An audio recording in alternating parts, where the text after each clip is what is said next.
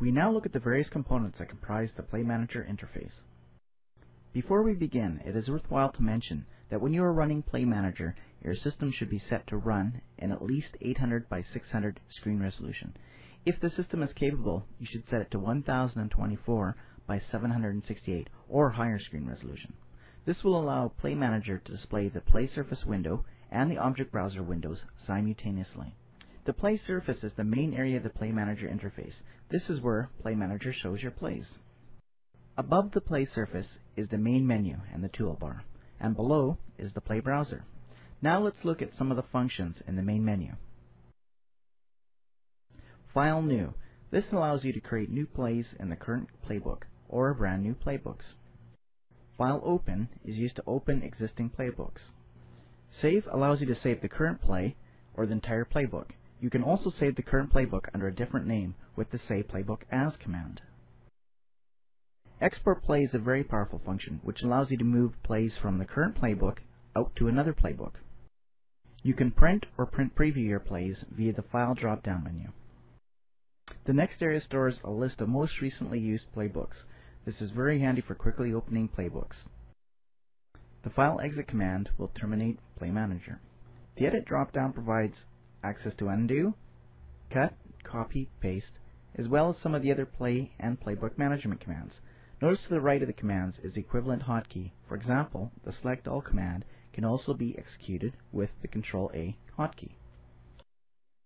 The Action drop-down provides another access point to the functionality of the Play browser.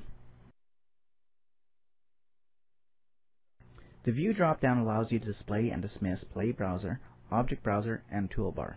You can easily display the preferences for them via this drop-down.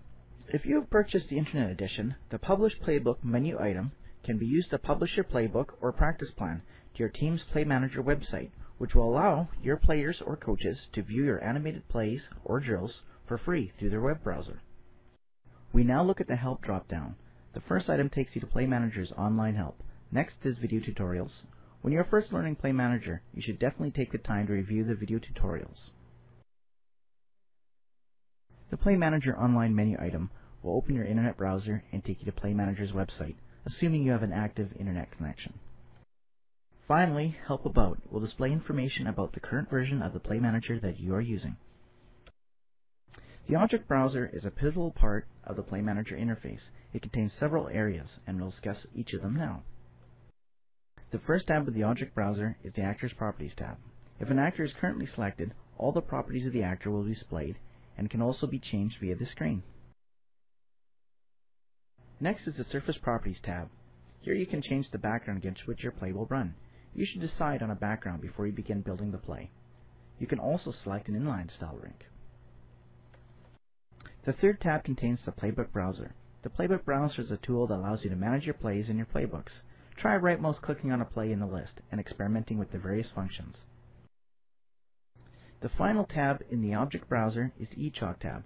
This area allows you to manage all the eChalk and associated eChalk notes for the current play.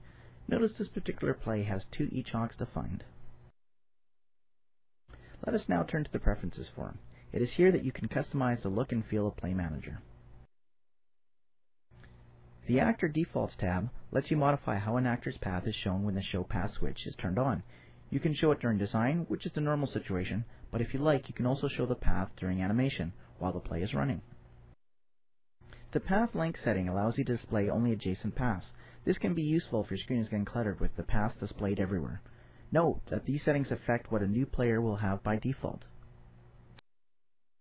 The player name font setting allows you to change the font used for labeling players. If you want to place heavy emphasis on one of the players in a certain play, make this font a little larger and perhaps bolder. The Image Defaults area lets you change what each of the actors will look like by default. By default, Play Manager assigns a blue directional icon to the player home actor. If your team has red jerseys, you can switch the player home icon to default to the red directional icon. You can also change the rotational attribute and the label Play Manager uses to describe each actor type. For example, you can change the term cone to pylon if you prefer to use that term. The Surface Defaults tab allows you to change what surface a new play will be assigned.